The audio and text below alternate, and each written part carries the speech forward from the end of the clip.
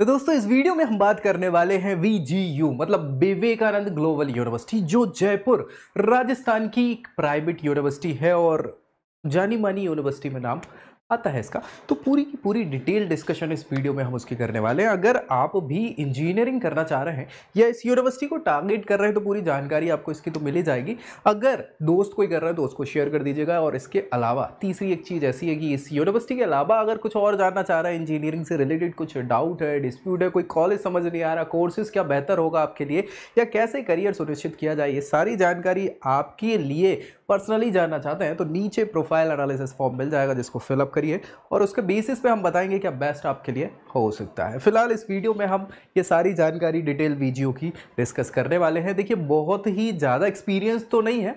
मुश्किल से 10-11 साल का 8 से 10 साल का अनुभव है। 2012 में स्टैब्लिश्ड हुई है यूनिवर्सिटी है जयपुर पिंक सिटी के नाम से मशहूर है। अपने आप में इंडस्ट्रियल बेसिक्स में भी बहुत ही मज़बूत है और बहुत सारी यूनिवर्सिटीज़ हैं इंजीनियरिंग को लेके, बाकी सारे के सारे कोर्सेज को लेके। फ़िलहाल हम जो बात कर रहे हैं, यहाँ पे इंजीनियरिंग की ही कर रहे हैं, क्यों? क्योंकि ये चैनल जो है, आपको पूरी इंजीनियरिंग से रिलेटेड उनके कोर्सेज कॉलेजेस और करियर से जुड़ी जानकारी प्रोवाइड करता है। तो इसको सब्सक्राइब करना बिल्कुल नहीं भूलना है, ठीक है ना भाई? चलिए तो भाई विवेकानंद यूनिवर्सिटी क्या है इसके साथ? तो भैया ये बता रहे हैं कि हाँ एक लीडिंग यूनिवर्सिटी में इनका दर्जा शुमार होने वाला है या हो गया है, ये तो यही बोल रहे हैं धीरे धीरे क्यों? क्योंकि इनने बहुत सारे अवार्ड्स प्राप्त कर लिए हैं प्राइवेट इंस्टीट्यूशन से जो ऐसा बोलते हैं कि ये अच्छी है पढ़ने के लिए या फिर वेस्ट में। इंडिया के वेस्ट में जयपुर आता है या राजस्थान आता है तो उसमें सारी चीज़ें हैं, बहुत सारे अलग अलग इन्हें टाइटल्स मिले हैं रिकॉग्निजेंस मिले हुए हैं अलग अलग इंस्टीट्यूशन के द्वारा तो वो हम देखेंगे कौन कौन से क्या मिले हुए हैं, ये आप देख पा रहे हो कि यहाँ गई, देख लो आप। है ना कि बोल रहे हैं कि लगातार दो सालों से मोस्ट प्रेफर्ड प्राइवेट यूनिवर्सिटी का दर्जा इनको मिला है, इसके अलावा फोर स्टार रेटिंग मिली हुई है, और बहुत सारी चीज़ें हैं go green movement eco friendly structure है, उसमें भी इनको हाँ एस ओ चैम का एस ओ चैम ने इनको वो दिया हुआ है अवार्ड दिया हुआ है। तो ये सारी चीज़ें इनके कारण क्या है एक्सेलेंस प्राप्त किए हुए हैं और चाह रहे हैं कि अच्छा नाम जो है उसको कम कंटिन्यू करके रखा जाए। बढ़िया। फ़ी स्ट्रक्चर एलिजिबिलिटी क्राइटेरिया कौन से एग्ज़ाम्स ये एक्सेप्ट करते हैं, जिनके बेसिस पे आपको यहाँ एडमिशन मिल जाएगा। तो सबसे पहले हम बात कर रहे हैं, चूँकि ये यूनिवर्सिटी हो गई है group of institution group of university बोल रहे हैं तो भाई यहाँ पे हर प्रकार के कोर्सेज कंडक्ट होंगे। केवल इंजीनियरिंग के नहीं, बाकी सारे भी होंगे, लेकिन स्पेसिफिक हम यहाँ इस वीडियो में केवल इंजीनियरिंग की बात कर रहे हैं ना? याद रखिएगा। तो अगर आप चाह रहे हैं जानना कि क्या बेस्ट होगा आपके लिए, इसमें या किसी और यूनिवर्सिटी में कौन सी स्ट्रीम ले लें, कौन से हाँ क्या प्रेफर किया जाए? आपके लिए बेस्ट करियर अपॉर्चुनिटीज़ क्या हो सकती है?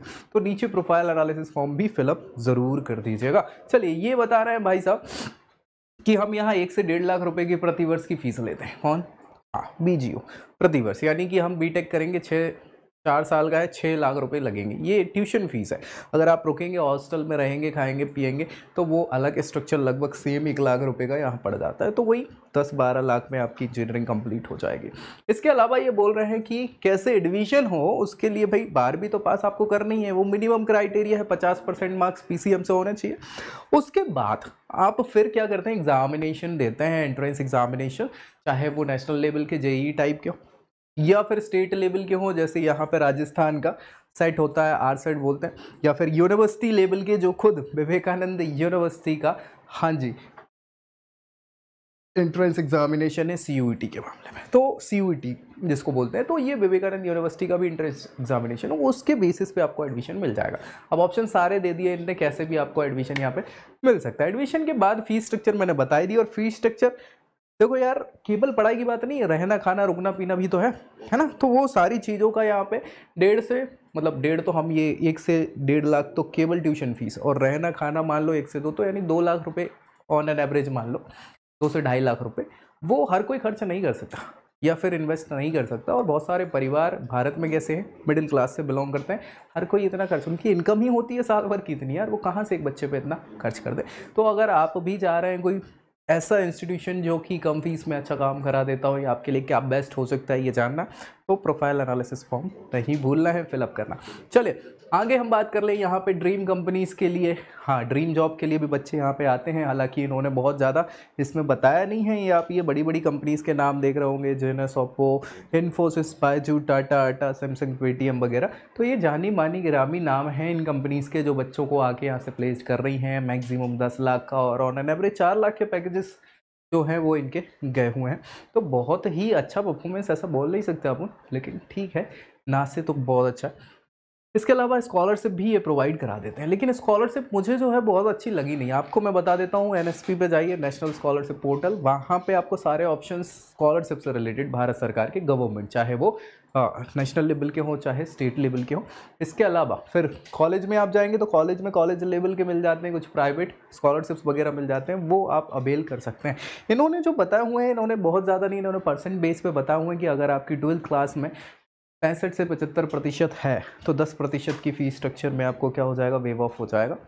या फिर पचहत्तर प्रतिशत से ज़्यादा है तो आपको भैया पच्चीस प्रतिशत वेव ऑफ़ हो जाएगा। इससे ज़्यादा का नहीं बताया, है ना? लेकिन उससे क्या ही फ़र्क पड़ता है? चलिए, कोई बात नहीं। इंफ्रास्ट्रक्चर जिसके नाम पे ये मजबूती से खेल रहे हैं इंफ्रास्ट्रक्चर ही इंपॉर्टेंट है, क्योंकि इंफ्रास्ट्रक्चर प्राइवेट यूनिवर्सिटी में बच्चों को वो तोज्जो देता है, जिसके लिए आते हैं। दिखावा जो बोल सकते हैं ना, वो इंपॉर्टेंट है कि यार भाई, क्या तो कैंपस है? आय हाय हाय। देखने में शानदार लगने वाला, तीस पैंतीस एकड़ में फैला हुआ ये कैंपस है। ये बता रहे हैं कि फुली एसी ऑडिटोरियम है 500 कैपेसिटी वाला और जो है रॉयल इनफील्ड जो बच्चे चाहते हैं, बच्चे क्या, लड़के चाहते हैं मोस्ट प्रोबेबली लड़कियाँ कम इम्पोर्टेंट क्योंकि भारी होती है ना गाड़ी। मैं भी कई बार कोशिश करता हूँ कि भारी हो जाती, नहीं चलती फिर वो, है ना, अगर बितक जाती है। तो रॉयल इनफील्ड ने खुद का ट्रेनिंग के लिए पूरा का पूरा वहाँ डेवलप करके रखा हुआ है। इसके अलावा यहाँ रोबोटिक्स लैब भी बनाई हुई है मित्सुबिशी ने। मित्सुबिशी कंपनी है जो कि हाँ ऑटोमोबाइल्स में यूज़ होती है है ना?